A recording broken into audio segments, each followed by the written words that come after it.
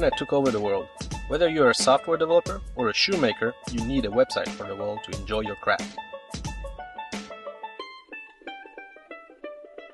Websites are sort of magical, at least in the sense of how they are made. How does Google work? How about Facebook?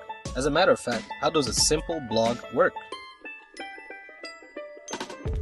Well, that's what I'm going to teach you in this series. Hello world, my name is Ibrahim Diallo. We are going to learn how to build a website from scratch. I'll teach you the fundamentals to make something display on the browser. Anything, we won't cut any corners.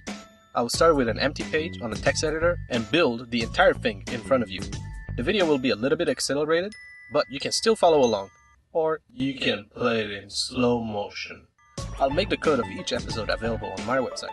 Our first project will be a blog, but by the end of this series, we will have a website where you can add videos and share them.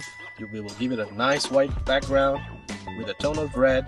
We will call it YouTube and it will get purchased. Okay, let's just start with a blog for now. Let the journey begin.